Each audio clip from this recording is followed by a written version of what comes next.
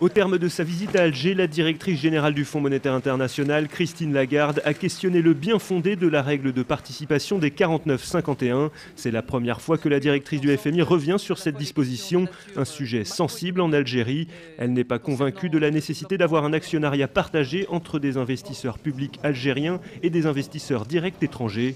En cause, la participation obligatoire et majoritaire de capitaux algériens dans les entreprises étrangères actives dans le pays. Christine Lagarde a précisé que l'Algérie était l'un des rares pays au monde à maintenir cette règle.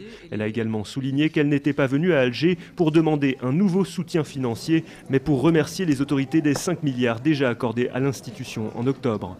Je vais vous décevoir parce que je suis simplement venu remercier les autorités algériennes qu'il s'agisse euh, euh, du président, du Premier ministre ou des autorités qui, euh, qui m'entourent.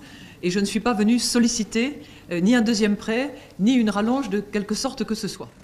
Christine Lagarde a rappelé les bonnes performances de l'économie algérienne. Selon elle, la croissance devrait rester vigoureuse entre 3 et 3,5% durant les prochaines années. Elle a cependant noté que le pays devrait rapidement juguler le chômage qui touche plus de 20% des jeunes et l'inflation qui a atteint près de 9% l'année dernière.